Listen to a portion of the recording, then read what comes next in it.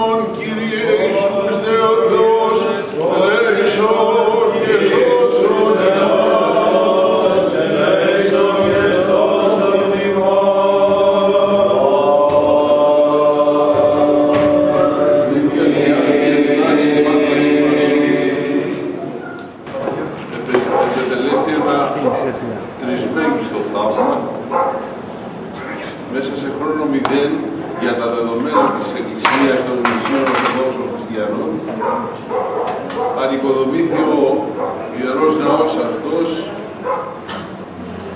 του Τιμίου και Ζωοποιού Σταυρού το οποίο τα θυρανίξια εορτάσαμε περίπου πριν από ένα χρόνο. Και σήμερα μας αξιώνει ο Θεός να προετοιμάσουμε τον εγκαινιασμό του Ιερού αυτού ναού με την κατάθεση των Αγίων Λειψάνων, τεμάχια λοιπόν των Αγίων Λειψάνων, των Αγίων Ενδόξων Μαρτύρων, Αγίου Παντελεήμονος του Διαβατικού, του Αγίου Μέγαρου Μάρτυρος Ευστρατείου και του Αγίου Μάρτυρος Τρίφωνος θα κατατεθούν εις το φυτόν της Αγίας Τραπέζης αύριο.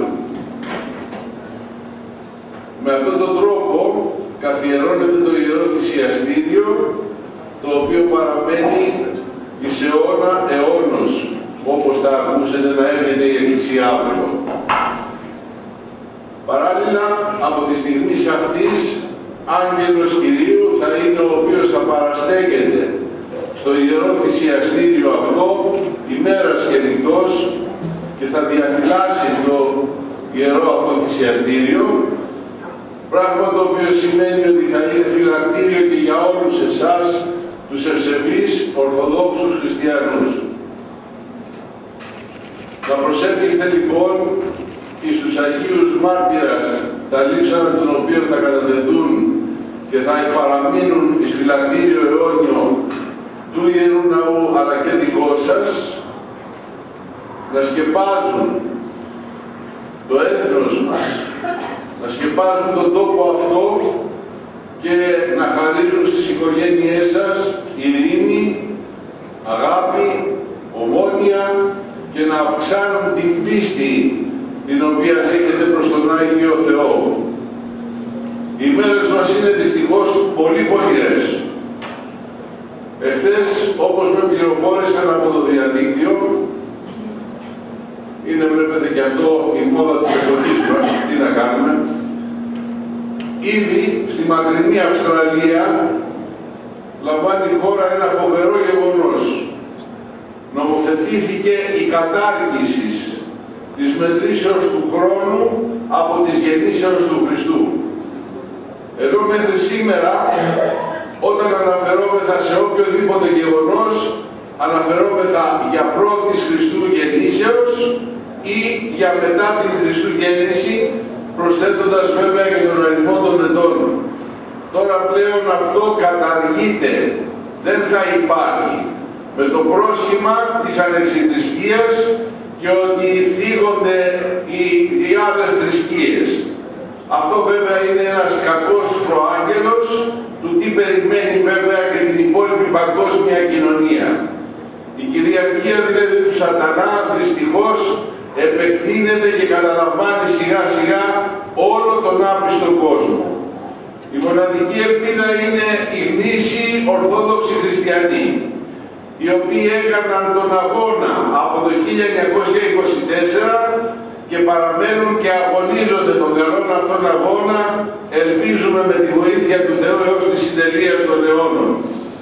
Γι' αυτό λοιπόν μείνετε κρατεοί στην πίστη την οποία διδαχθήκατε και την οποία παραλάβατε από τους πατέρες μας και να είστε βέβαιοι ότι ο διάβολος μπορεί να προσπαθεί να μας τρομοκρατήσει, μπορεί να προσπαθεί να μας πείσει ότι θα κατακυριεύσει την γη, αλλά όπως ακριβώς είχε πει ο Χριστός μας εις τον τότε Σάβλο, σκληρώνες την προσκέντρα λακτίζει, το ίδιο μπορούμε να πούμε και εμείς εις τον διάβολο. Και όχι μόνον, αλλά να του υπενθυμίσουμε για την υπόσχεση του Θεού, όταν εξεδίωξε τους πρωτοπλάστους από τον παράδεισο Θεός μας, απευθυνόμενος προς τον διάβολο του είπε ότι θα γεννηθεί κάποτε κάποιο παιδί από την γυναίκα αυτή, της οποίας έγινε πρόξενος για να φύγει από τον παράδεισο και το οποίο εσύ θα προσπαθήσεις να του κάνεις μεγάλη ζημιά και το μόνο που θα κατορθώσεις είναι να ακουμίσεις το άκρο του ποδός του, ενώ εκείνος θα συντρίψει την κεφαλή τη δική σου. Το ίδιο λοιπόν τους λόγους αυτούς, την υπόσχεση αυτή του Θεού, πιστεύουμε ότι θα την τηρήσουμε και εμείς και με τη βοήθειά του θα συντρίψουμε την κεφαλή του αντιδίκου ημών διαβόλου και θα μπορέσουμε να βρεθούμε κατά την ημέρα της Δευτέρας παρουσίας του Κυρίου μας ενώπιον του φρικτού θυσιαστηρίου όσο είναι ανθρωπίνος δυνατότητα δικαιωμένη. Εύχομαι ο Άγιος Θεός δια των πρεσβείων των Αγίων Δόξων Μαρτύρων και με τη σκέπη και τη βοήθεια του Τιμίου και Σοφιού Σταυρού να σκεπάζει όλους μας. Βοήθειά μας να είναι.